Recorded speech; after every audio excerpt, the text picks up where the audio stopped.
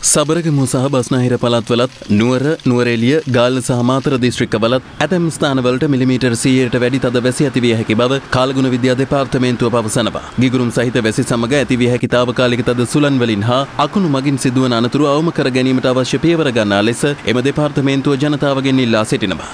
මේ අතර අම්බලන්ගොඩ ගලගොඩ නව ජනපදයේ නිවාස පහකට අකුණු සැර වැදීමෙන් අලාභහානි සිදු වුණා.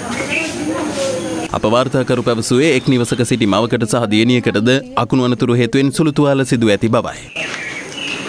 පාරටම ගුලිය වගේ තද වුණා වගේ තේරුණා මට කනදාව මේ මෙතන කඩන් යනකොටම මට මොකක් මතකයක් නැහැ. ඒ වුණාට දරුවා අඬනවා වගේ මට දැනෙනවා. ඒ පාර මං කරන්නේ විගහට දොර ඇරගෙන පැන්න එච්චරයි දන්නේ මං. දරුවට අමාරුයි ගොඩක්ම. මේ පාර දරුවා විතර ගහලා ගහලා දෙයිය ගත්තා.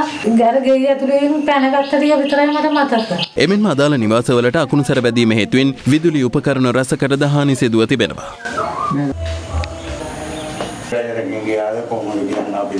මේ අතර ත්‍රිකුණාමලය දිස්ත්‍රික්කයටද ඊයේ පස්වරුවේ දැඩි වර්ෂාපතනයක් ඇදහැලී තිබෙනවා. අප වාර්තාකරු සඳහන් කළේ ඒ හේතුවෙන් කින්යා ප්‍රදේශයේ එක් නිවසක් මුළුමනින්ම විනාශ වී ඇති බවයි.